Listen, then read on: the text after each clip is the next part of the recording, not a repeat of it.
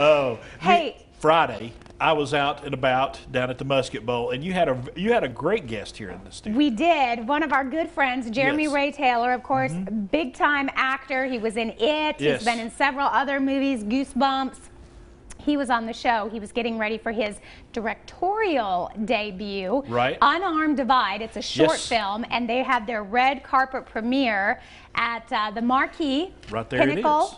And big day on Sunday. Of course, all the superstars came out. Look at Sarah Kiser, one of the Yes. actresses in the film. She is adorable there on the red carpet.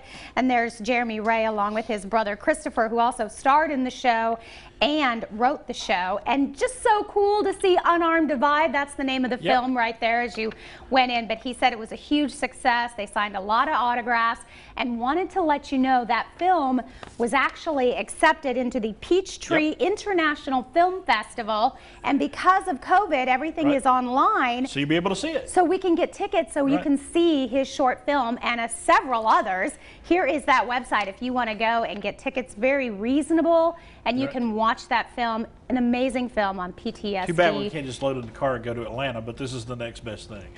It is. Well, and it's all online. So there's really There nothing go. to go There you go. Hey, folks.